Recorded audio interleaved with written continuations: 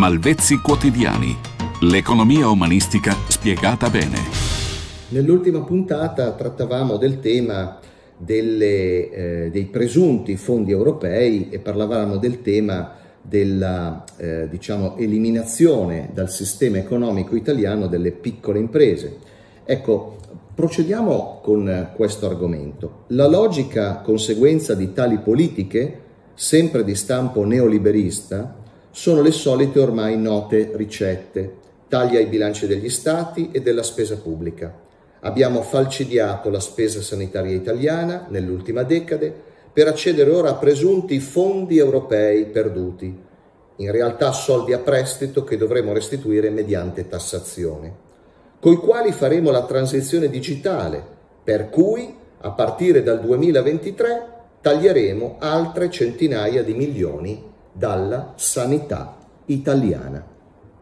Ecco, commento la pillola di oggi perché sembra un assurdo, un non senso. Cioè noi abbiamo passato gli ultimi dieci anni, a partire dal governo Monti, a, che venne invocato dalle pagine del Sole 24 Ore col titolo nove colonne Fate presto, eh, nel senso che dovevamo sostituire il governo Berlusconi con un governo tecnico che avrebbe attuato le politiche neoliberiste volute dall'Unione Europea. E così abbiamo continuato a fare avanzi primari, che vuol dire aumentare le tasse e ridurre la spesa pubblica.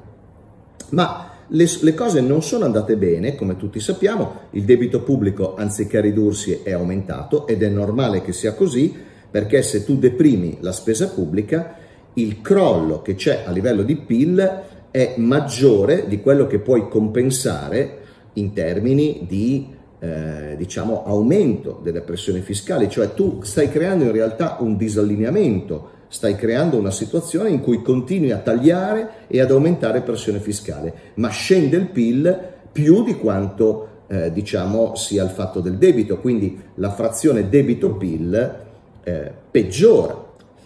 Ora, il problema è il fatto che noi sostanzialmente parliamo di transizione digitale.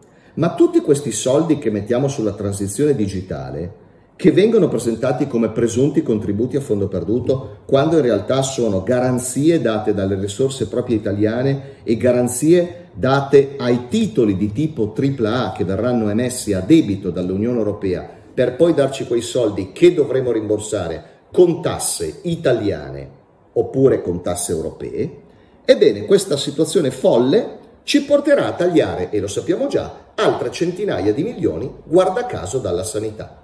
Ma allora tutto questo che senso ha? Io non lo so, chiedetevelo anche voi. Malvezzi quotidiani. L'economia umanistica spiegata bene.